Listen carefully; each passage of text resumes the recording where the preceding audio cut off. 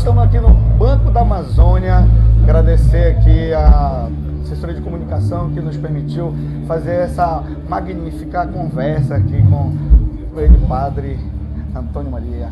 Prazer muito grande recebê-lo aqui na é nossa Amazônia, aqui em Belém do Pará.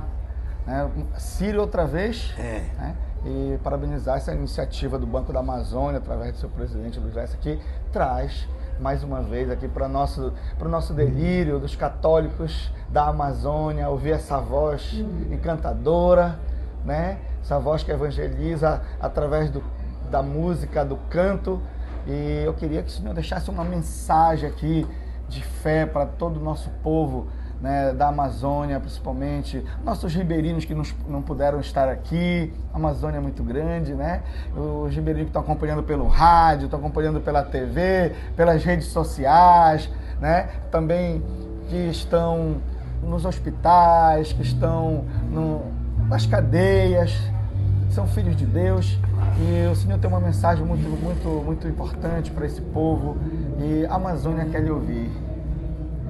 Pois é, a Amazônia é verde, não é?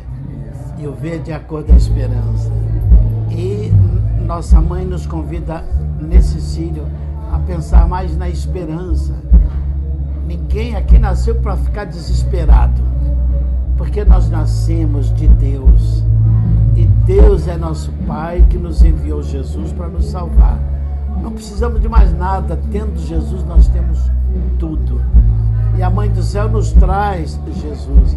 Até isso Deus pensou em nos dar uma mãe que nos leva ao seu divino Filho. Então, meu irmão e minha irmã, muita esperança e pé na estrada, pé no caminho. Vamos em frente. Estamos aqui no Banco da Amazônia, onde eles nos convidam a ter fé nas pessoas que têm fé na Amazônia. Nós temos que ter fé num Brasil melhor, num mundo melhor, em pessoas melhores. E temos que nos deixar modelar pela nossa mãe querida, a mãe de Nazaré, a mãe de Jesus, que é nossa mãe. Força e coragem sempre. Vamos em frente. Com Maria, nós chegamos a Jesus. É época de conversão, né, Padre? Então é isso.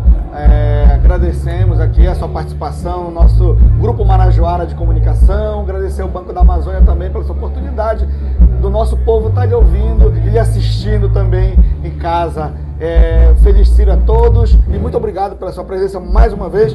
Padre Jaime também vai se apresentar hoje, juntamente com o senhor aqui. É né? vão, vão emocionar esse Amém. mar de gente. Amém. Amém. Que Deus nos use como instrumentos. Amém. Amém.